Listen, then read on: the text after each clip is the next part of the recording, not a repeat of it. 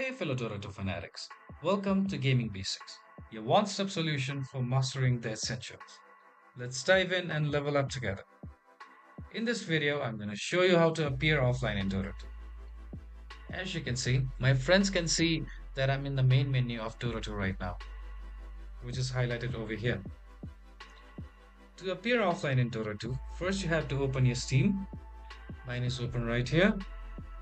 And click on the Friends tab and then select offline option from the drop down menu, which is right over here.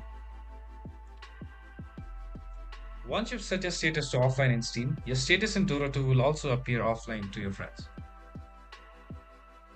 which you can see right here under my profile name.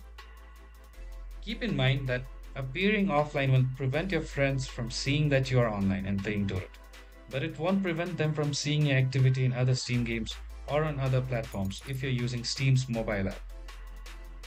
If you found this video helpful, please give us a thumbs up. And if you have any questions for us, please feel free to mention us in the comment section down below. Also, don't forget to hit that subscribe button and ring the notification bell so you never miss out on our latest guides and tutorials. This has been your host Ace. Happy gaming!